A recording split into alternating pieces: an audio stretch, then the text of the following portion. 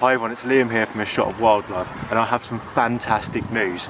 I just saw a post on Instagram or Twitter that said that there was an otter in the centre of the city in Norwich and sure enough I've come down and just under that tree over there there's an otter sitting up with a dead fish.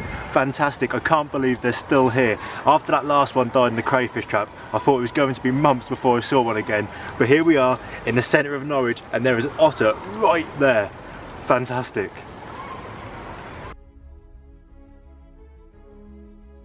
Norwich has a population of around 200,000 people and this island is about as central as you can get whilst being on the river. This is in fact the first place that I ever saw an otter but that was several years ago. It was after dark and the otter didn't hang around. This one on the other hand was more than happy to pose and gave me the best encounter with an otter that I have ever had.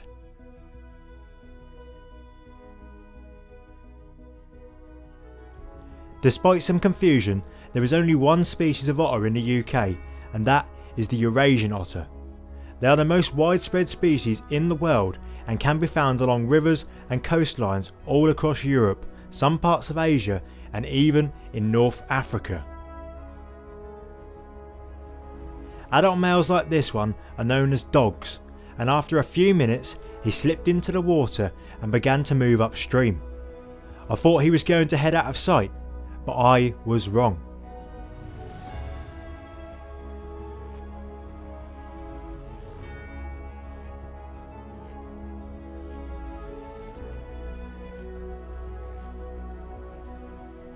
I walked to the next bridge over the river and couldn't believe my luck when he came and stopped less than 5 metres from where I was standing. Sorry for the camera work here, I'm passionate, not professional.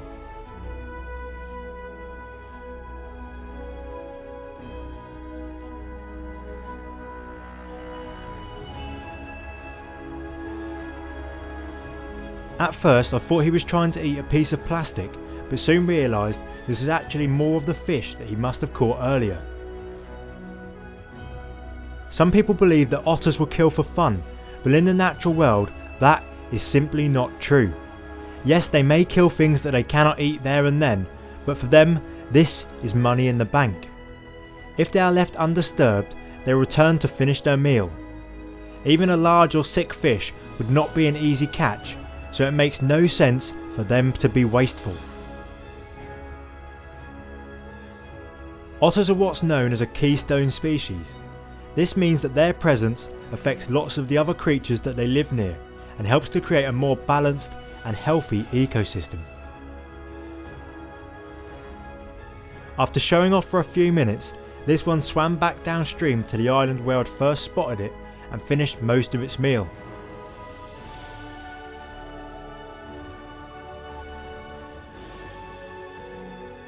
Otters are sometimes confused with the non-native American mink. The two species are related, but mink are quite a bit smaller and their tails end abruptly. See here how the otter's tail is long and tapered to a pointy end.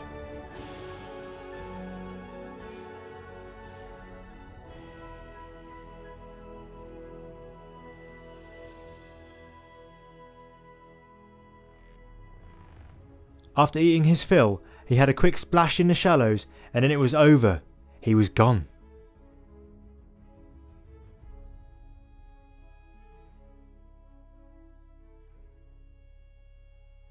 Well, just like so many other times before when I've been filming otters, he decided he'd had enough of the video shoot, slipped into the water, no trail of bubbles, and I haven't seen him again since. So, that is the end of this video. But if you enjoyed it, you might also like these other two British wildlife videos. Thanks for watching and I'll see you next time.